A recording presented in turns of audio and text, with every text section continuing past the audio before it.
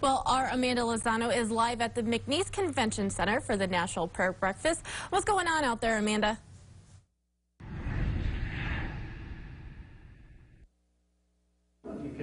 That's right, Kristen. We're out here at the McNease Convention Center where National Prayer Breakfast is currently underway. Joining me now are Annalisa and Gio, who are two students with House of Faith. I see you got some orange juice. We've got some coffee. What are y'all doing here today? We're helping serve.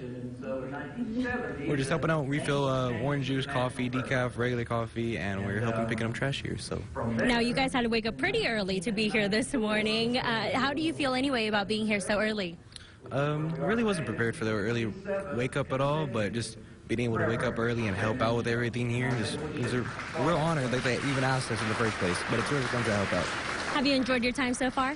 Yeah, actually, uh, I've been hanging out with Gio the whole time. All right, now once again, you can still come out to the prayer breakfast. It'll be over at 7:30. They've got uh, entertainment by the Lakeview Mariachi, and it's just a five dollars suggested donation. So head on out here. You guys, thank you so much. Back to you in the studio.